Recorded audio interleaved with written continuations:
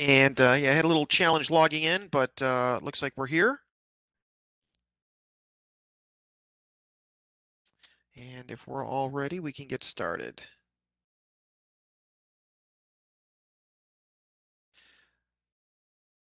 Yeah, so if you have any questions or comments, you can always just put them in the chat and we will address them the best we can.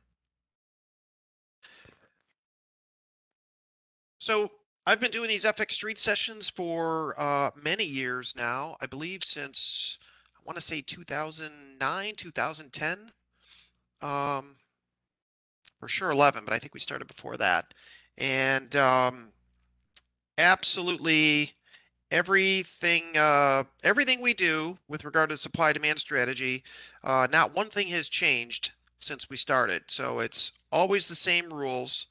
And the key is to keep them uh, simple, keep it very simple and, uh, you know, and discipline, right? That's the, uh, yeah, it, might, it could be back to 2006. It could. In fact, uh, I don't know if any of you have been around this long, but we actually did an event in the very early days of FX Street in Barcelona.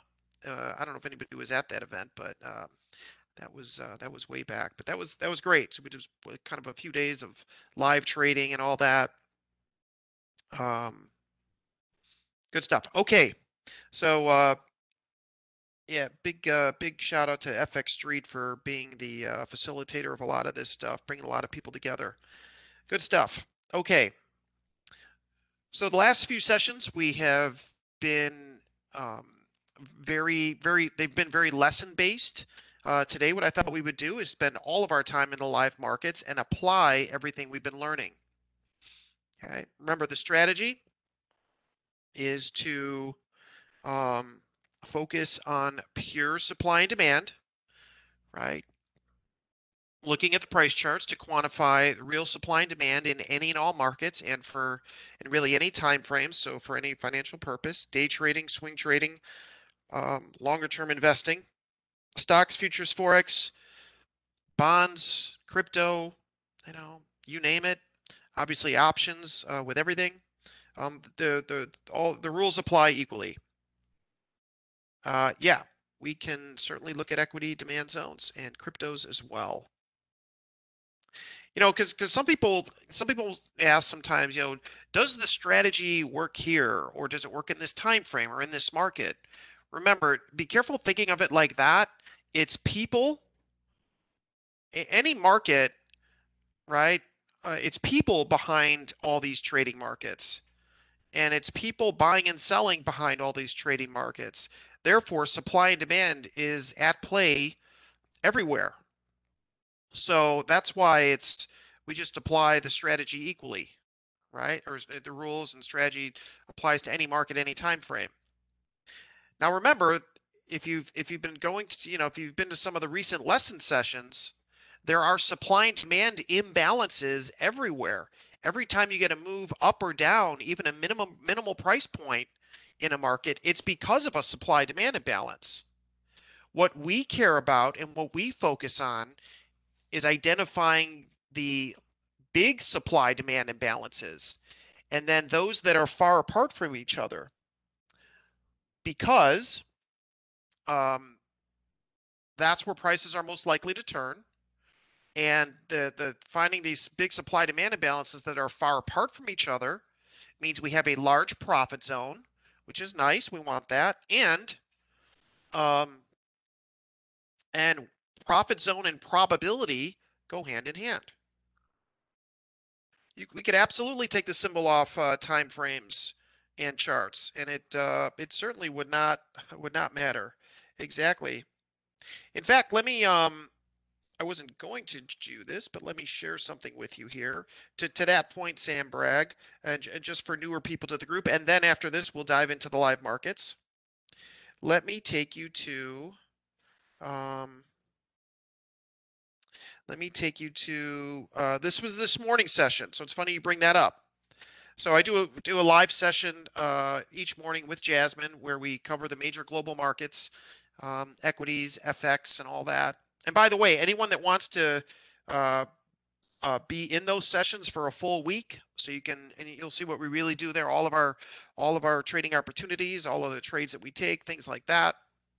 You can be in those live sessions with us if you want.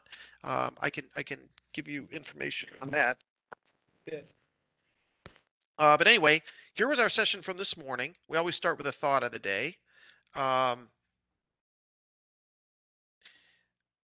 but anyway, again, the, the point is our, our job, our this this screenshot is right out of the uh, the Pinnacle Method course. So that's the supply demand strategy. But our job, when I say our job, I'm talking about all of us here, anyone who's watching this, it's not to wake up every day, every week, every month and trade. It's to get up, uh, look at the markets and find markets where prices are at levels where supply and demand is significantly out of balance, either out at supply here or out at demand here, and simply trade that market back to relative balance.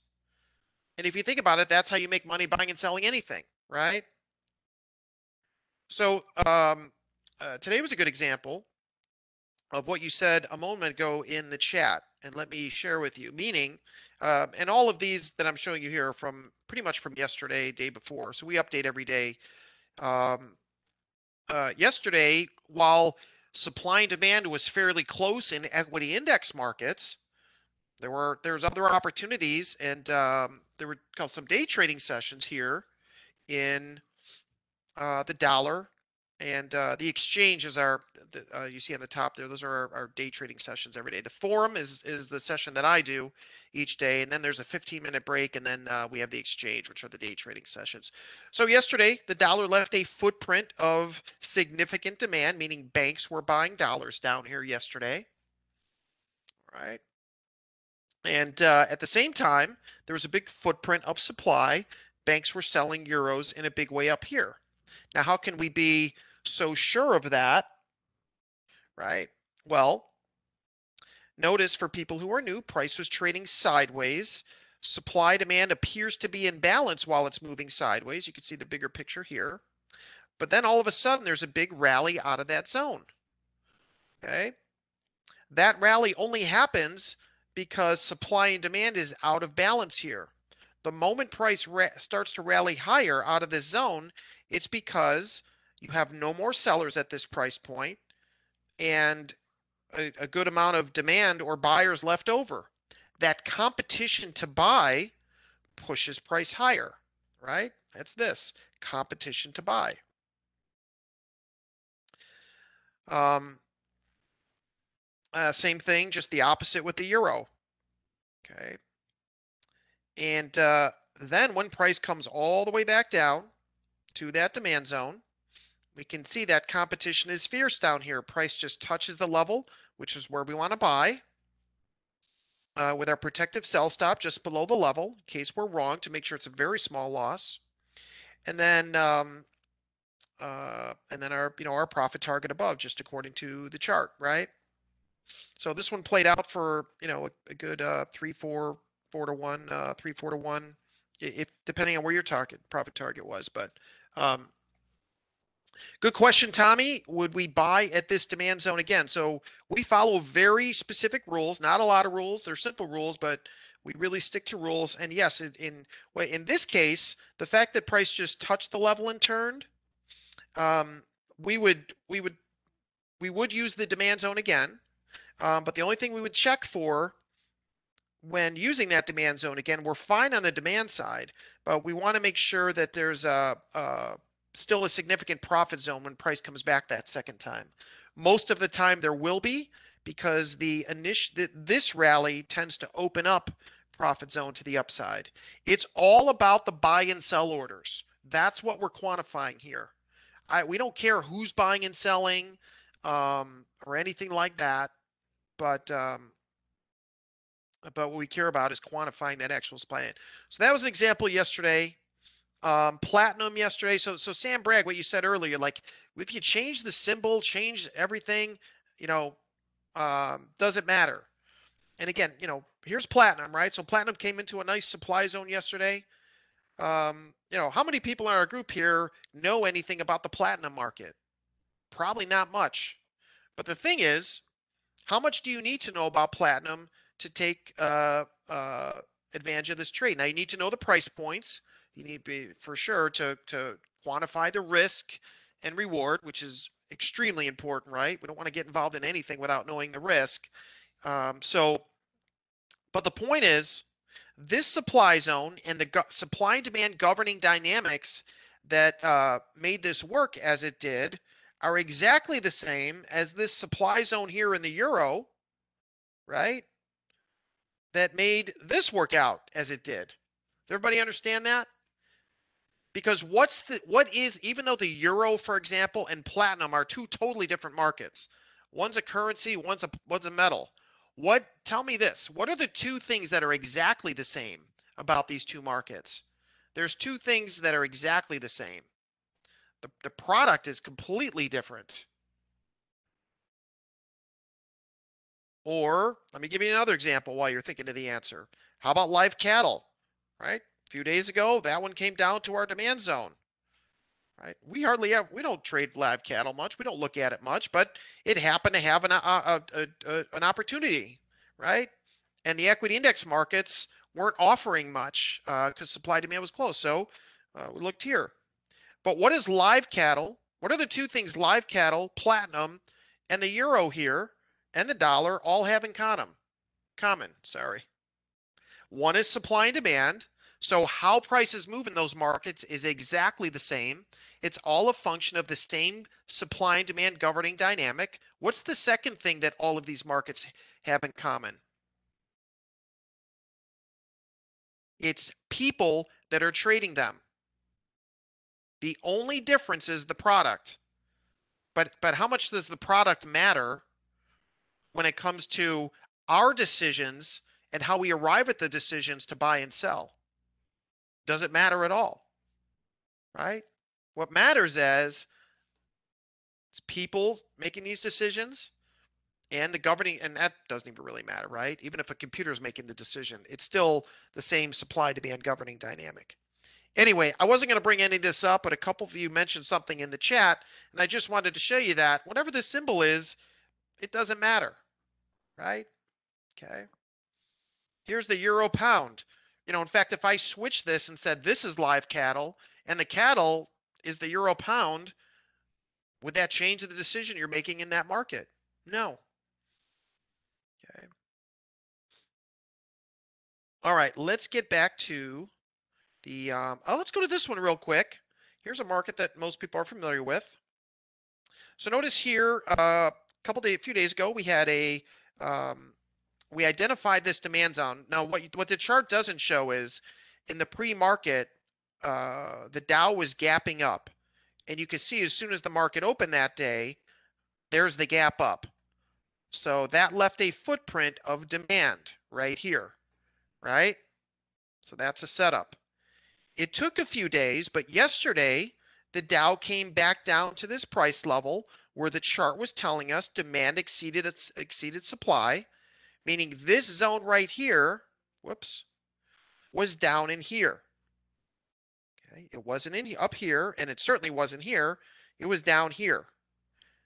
And, and because of the rules that we follow, it likely had a had a supply demand imbalance like that right? Maybe not that big, but but big enough. Okay. So if we go to the um, the live markets here, let's take a look. Okay. So here's here's that here's what that did. You could see price did not go deep into this level at all. Hung out here for a few days, right? Overall, the equity index markets are not that strong. They're just, you know, we've got you know, what we're dealing with in equities overall is, you know, this demand zone here against, um, there's some supply zones as well. We may have looked at this one last time. I'm not sure, but we've been dealing with this supply zone right here in the NASDAQ. Nothing great. I wouldn't necessarily even expect this to hold. Um, but it's what's been sitting up here. That's where the significant sell orders have been this week in equities and um, and just below in the Dow and a couple other markets, we've had some demand. Does that make sense? And even though the Dow and Nasdaq are not the same, they're they're pretty, all these equity index markets are, you know, in the exact same family. So the point is when um, your supply and demand zones are close like that, why not look at other markets? Um, okay. Anyway, all right, so let's dive in. I can certainly look at any symbol that you want. Um, we'll, um, the plan was to keep it, uh, we don't have to keep it to FX. We have a whole list of FX markets and opportunities to go over with you. Um, but I, but we can look at any market, right? Sure, we can take a, uh, we can take a quick peek at the S&P. And let's go there and find some opportunities. So the S&P after, uh, let's start right here. So after trading off of our, this is last week. Um, or right, right in here. Yeah. Anyway, um, or this is the low of the week before. I'll show you uh, another one in a second. So after trading off of our demand zone here and moving higher, we can see we've been kind of in this big, big range up here, right? So we do have a, when we look for demand, and actually the, the better market to look at, uh, well, no, this is fine. We'll, we'll stay here. But I wanted to just, uh, we'll go to, I'm going to show you another equity index market in a moment that'll help. Uh, let's go to 30. Okay. So even though this level, this zone looks far from current price, and it kind of is, remember in the, in the big picture, this is actually in the range. So it's not high probability, right? These markets have moved quite far from um, fresh demand, at least. When we go down to, um, whoops, let me go to a, let me go to this time frame right here. So we have a couple demand zones sitting a little bit closer to current price. So this is the 4140 area. Now watch this. A lot of people have been, um, where is it? There we go. So a lot of people have been looking at this, saying, uh, you know, wait a minute, what about, what people have been asking about, I'm just going to put these two together, right? Little, you know, pattern of demand there. We actually almost got down there yesterday. And there, and certainly demand did exceed supply here and, and perhaps does exceed, oh, it does exceed supply here. We know that for sure right now. Uh, otherwise, price would be there, right? Um, but when price comes back to this level, should we be a buyer here? Well, it, it um, demand likely exceeds supply here. We're likely to see a bounce from here, but it's not high probability enough for us. And uh, let me explain why. One of the reasons is you can see directly to the left, you see how price is right before the level went above the level, went below the level, kind of with ease. You don't want to see that just before your supply or demand zones. And think the simple logic through. If supply and demand is so out of balance here, why is price trading so easily below and above the zone just before it? I mean, there's really a big supply demand imbalance here on the demand side. Price should spend very little time here and shoot higher, right? Remember, um, you see that? Very little trading price shoots away from that area. Okay. Um, but anyway, you see, you see what I'm saying here? So, and, and then when we look inside that, let's, let's go do that now. I don't know, let's go to like, uh, maybe this chart right here. Here's those two areas, okay, uh, in here. So we can look at this whole range and, and we, we know that if there was a significant supply demand zone in here on the demand side, the picture would not look like that. So we want to look below this area. And when we look below this area, so now we need to get below 4142. Okay. That's where we come right over here. And look what look what's sitting just below that at 4140. Now, again, for a lot of you who are kind of new to this, I don't expect you to, no one's expecting to be able to get this and just go and be able to do this. That's, that's, uh, but you know, we try to give you the most we can in the, in the 45 minutes we spend here together in these sessions. Um, but that's how we arrived at those, uh, those two zones on top of each other, right? So when price was trading here, it spent very little time and rallied away. We know that that can only happen because of a supply demand imbalance here on the demand side. Price attempted to come back to the zone a couple times here, could not. So that's uh, some secondary evidence suggesting a big supply demand imbalance here. Make sense? Uh, so I know whoever asked for the S&P, I know we, I said we'll go over it real quick, and that was probably much longer than real quick. Uh, but I want you to understand, uh, you know, why uh, you know, we go with the zones, we do. They have to meet our criteria. Okay, next market, uh, let's see.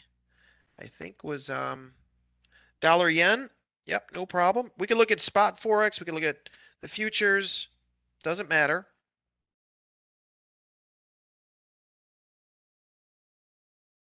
So let's bring up the uh, let's bring up the dollar yen.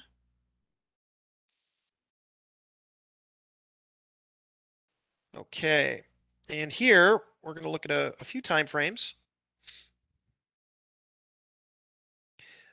So we had this uh, zone here on the 420, with, which worked out fine. Um, not the greatest zone, you know, so no surprise we're going through that. On the demand side, bigger picture, we need to get below this whole range. Anything like even this zone here, yeah, it worked out fine here, but it's inside this whole range, right? So this, anything inside here is this. We don't typically want to be entering positions inside the novice space. There's, you know, this is where the majority of trading volume is always going to be, but that's because supply and demand is not that out of balance. So trying to pick turning points in there, good good luck with that. And that's why the majority of, you know, it's well known that the majority of active traders lose money and we know that most long-term investors don't achieve their financial goals. You know you think about why that is um, think of most strategies that people use. If you use a trend following strategy if you use indicators and oscillators if you use conventional chart patterns with all of those different strategies where are you buying and selling? Think about it. With any of those strategies where are your entry points into the markets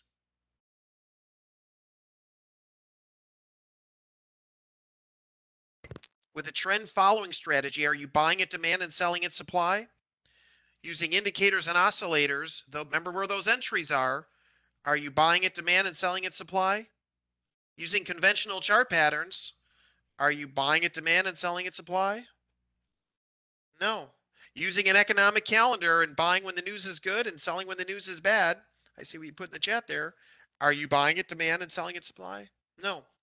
With all those strategies, you're buying and selling, you're entering the market right here in the novice space.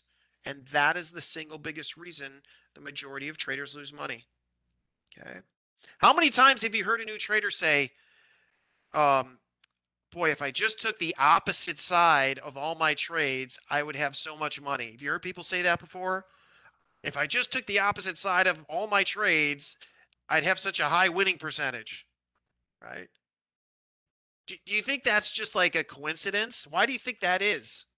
It's because most people are trained and conditioned to be the last buyer and the last seller. Maybe not the very last buyer and very last seller, but you get the point. Right? All of those strategies we just mentioned have you buy after everybody else has bought and have you sell after everybody else has sold. That's why there's such a gap in performance between the professional and everybody else right? And all I'm doing with you here, I'm just the messenger. So, you know, when I started on the trading floor of the Chicago Mercantile Exchange, I got to see uh, how the markets really work and uh, and develop the supply demand strategy while you know I was on the professional side of the business. So uh, anyway, let's dive back into live markets. And uh, okay, so with the yen, now let's find our fresh zones, and let's go to the By the way, if we do get a big drop at the end, uh, not likely anytime soon, don't forget we've got some really key larger time frame zones down here. Uh, but that's way below, so we're not uh, likely to get there anytime soon. Let's go back to the 420 here. Here's those two demand zones that are sitting just below uh, this big range here. And um, that uh, uh, those are reachable. So this is um, demand or wholesale prices down here. And then on the supply side, again, if we get above the range, sitting just above this high, a little just above 111, we've got a supply zone there. We call this secondary evidence. Notice price could not even get back there. And that's because supply and demand is likely to be so out of balance here. That's what the chart is suggesting, right? And then, of course, uh, in the lower end of the recent range, okay, uh, this level's already touched, but uh, uh, we could probably take it again. Sitting just below 108.36, uh, two demand zones on top of each other. If you want to keep it higher probability, you'd probably focus on the lower zone. All right. Yeah, so yeah, there is some trading to the left of this. That's why if you want to, you know, if you want higher probability, I mean these these seem fine, but if you want higher probability than this, you, you'd have to wait for um you, that's why you wait for these. You see the difference? I see your question in the chat there. Okay, those two zones I just showed you are up in here. So you're still inside the range. So the zones right there, maybe this will help are are likely to be, you know, in here, in the novice space, but but down at the bottom of the novice space. If you want to get down here, well, you're going to have to wait for levels like these. Okay. And then last uh, but not least, let's go to. Um, uh, no, that's it. So there's your fresh supply demand zones above and below in the yen. And where do you want to go next? Again, I've got a uh, I've got a ton of markets to go over here if you want, uh, but I'm always happy to look at the markets you want to look at. All right, let's go look at gold. So gold just hit um, gold just hit supply zones for us. Let's go to gold. And gold is going to be right up here. There we go.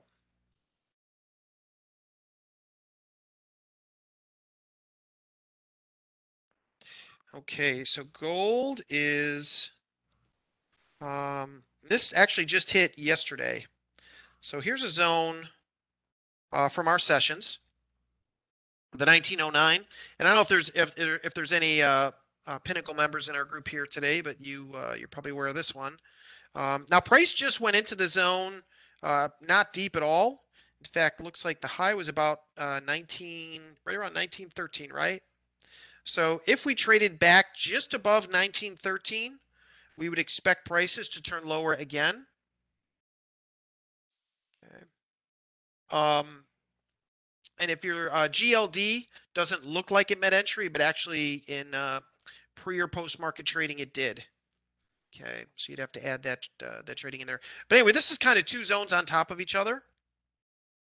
And then on the demand side, there's quite a bit of room to the 1794. So uh, we'll just uh, you know leave it at that. Um, and let's see if we have any others. Uh, yeah, well, actually, there are some other zones we can go over here. So let's take a look at the 60. Uh, nope, not that one. Um, oh, the 420. There we go.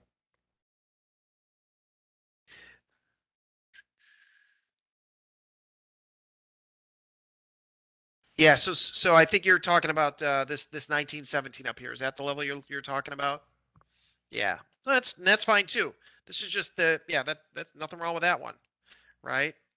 So 1917 to 1930, you can see what kind of reaction we're having off the first part of that uh, supply zone. You don't see it here, um, but you do see it on a smaller time frame. And you know, you may have for now, Sam. You may have missed it for now, and that's totally okay. Uh, but uh, but if it does go back up here, then um, we would expect prices to come turn lower. and we, we just saw where the demand zones are from the, uh, from the 120, 120 minute. Okay. Now the, again, this zone is very, this, this next, this demand zone is very far from current price. But if you want to get the below the range and focus on, you know, high probability opportunities, that would be, uh, that would be down there.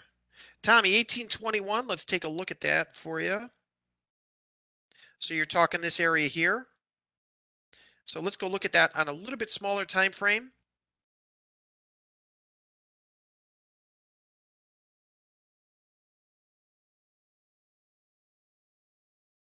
Uh, I believe this one.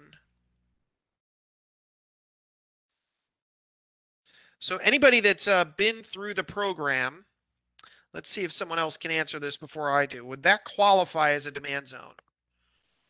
Yes or no? And if you've been through the program, you should know without even thinking. This would not qualify as a demand zone. Why not?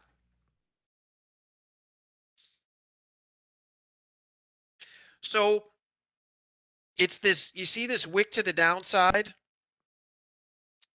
Uh, especially at the end of the base. So Tommy, think about it. The question really is, is does demand exceed supply in a big way here? Um, well, if it did, why would why did price go down to 1819 and then trade higher. So if if demand truly exceeded supply at 1821, would it even be possible to trade down to 1819? You see what I'm saying? If the floor was really that strong, you know, are you going to go through it? So that's that's the point. Um, you know, so a big wick to the downside, you know, usually we like to see it bigger than this to disqualify, but that's always going to disqualify a demand or uh, supply zone. Okay. And, and really just keep it nice and simple. If you think there's demand at, at you know, the, the, the demand exceeds supply in a big way at 1823, well, it, it shouldn't trade 1822. Now, for me, you know, you think of my days on the trading floor, I've got a big stack of orders to buy at, let's say, 1821. What has to what has to happen for price to get down to 1819? I mean, what has to happen to get to 1819? Right? You've every single buy order at 1821 needs to be filled first. Every single one. And then all the orders at 1820. Okay.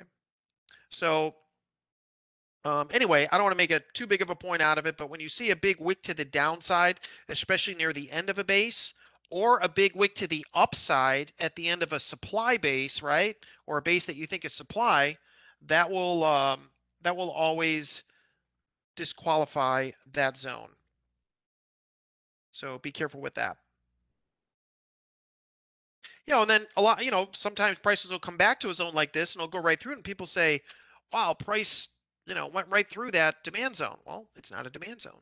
Okay. Anyway, let's keep going. So I think we've got, uh, we've got our, our zones in gold. Um, any other markets you want to look at? Otherwise I can go through, uh, my list. I know we don't have a, a ton of time left, but, um, Bitcoin, let's look at Bitcoin. Sure. Um, Here are the Bitcoin futures. So um, right here. Okay, so let's take a look.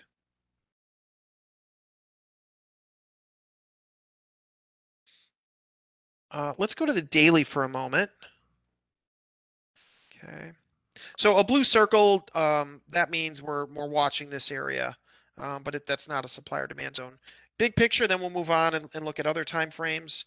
Um, we uh, obviously some significant uh, a significant supply zone above at the 48 48 uh, 8 area, and then um, obviously way down here we have some gap demand. But both of those areas are very far from current price. So let's go to the uh, more the spot version of this. And we're going to look at uh, one, possibly two time frames here.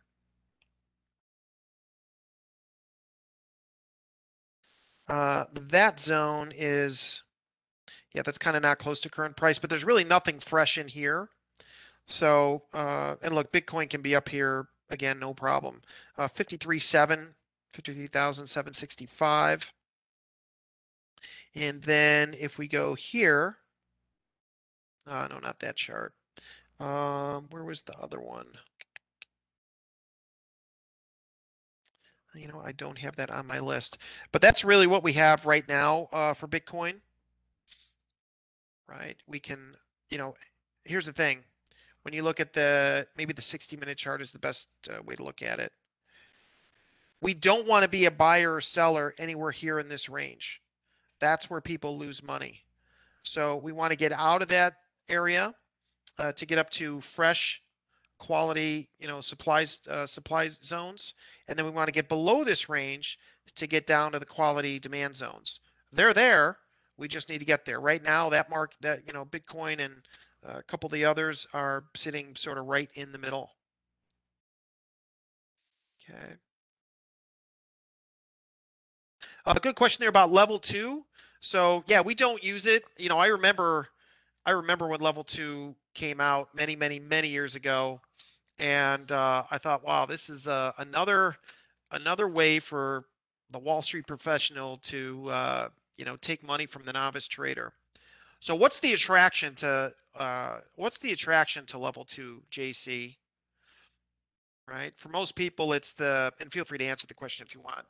But for most people, it's it's oh, I can see who's buying and selling and how much they're buying and selling. Right? Isn't that the attraction to level two?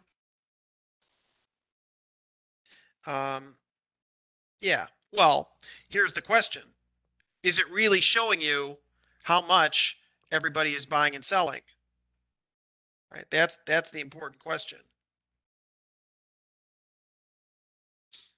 Oh, it's it's it's it's right. That's the question. So um, the the answer is a big no. In fact, the way that level two works is the way that same way that all this works.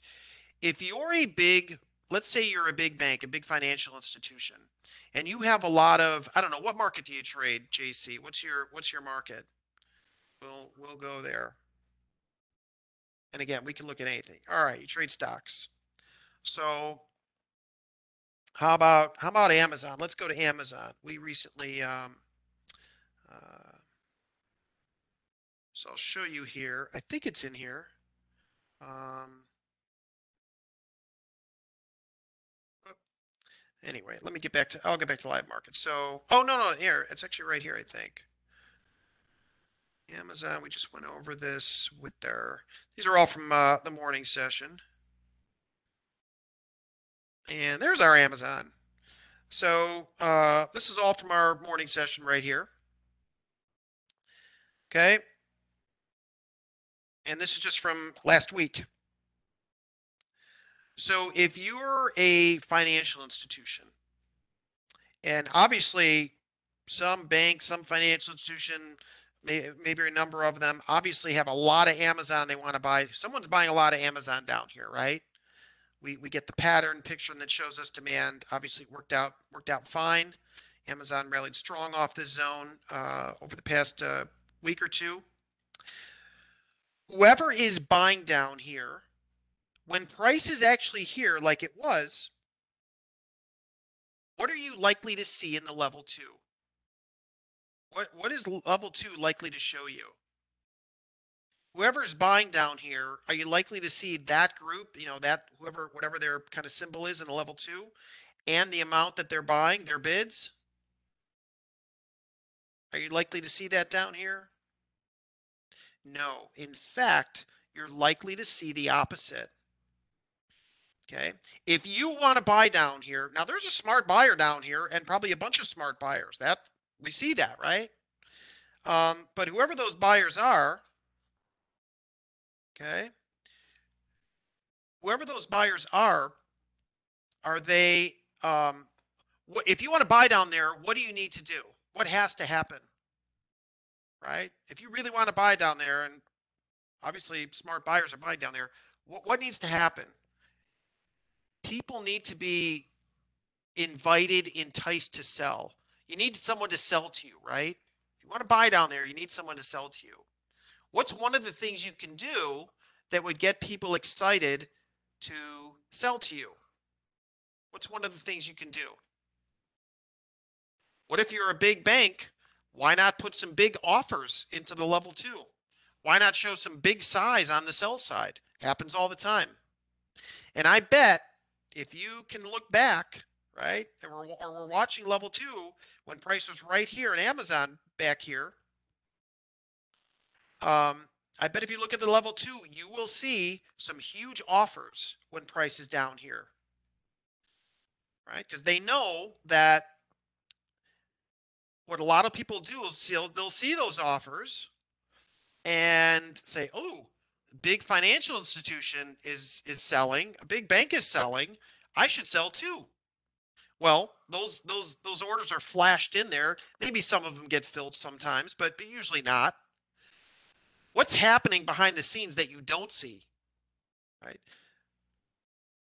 Because remember, when level two came out, something something there's a there's something else that came out, you know, with or shortly after level two. Anybody remember what that is? The ability to hide your real order. If you want to buy 50,000 shares, you you can show you can show that you're buying 100 shares at a time. You don't have to show the whole 50,000, right? Okay.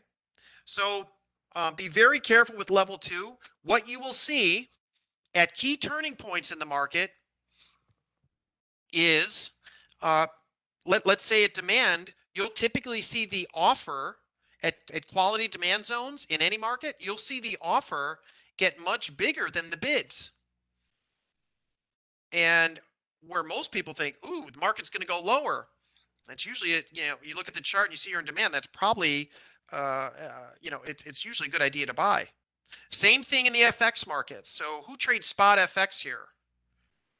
It's it's yeah, it's it's the same thing. So in spot FX, when you come into key supply and demand zones that, that we go over here, what happens to the spread typically? Does it get wide or narrow? It widens. And what does that what, what, what does that do to a lot of people? Does that get a lot of people to want to get in, or or or does it scare people out of entering the market? Right? Yeah, it's it scares people from entering the market. But but think of how the markets work. Why is the spread getting wide at a key supplier demand zone? Because it's a because price is very likely to turn there the, the, the, the person or group or bank making that market knows that. So they have to price in their profit. If, if, if you're going to force a market maker to sell at demand, they're not going to take a loss, right? So that's got to be priced in first. That's why the spread gets wide. So while a wider spread scares people out of entering a position, if you really understand how the market works, that's usually a good thing. Of course, always look at the chart, make sure there's a supply demand zone there, right? Anyway, um, so I know we're, um, I know we are out of time, but um, if you want more of this and want to uh, do a lot more of this, you can always come to the uh, one of these workshops, typically the advanced workshop. And so from here, if you go to the advanced workshop, you can then spend a week in those morning sessions with us, and you can see us do all this live and uh, um, and uh, you'd be with me and Jasmine if you want. Otherwise, uh, we'll see you again in the uh, in these FX Street sessions. We do uh, one or two a month. So uh, there's those there's those workshops there. You just um, go to the um, go to the link. Um, you can always go to uh, pinnacleinstitute.com. It's it's all uh, it's all there, all there for you. Okay.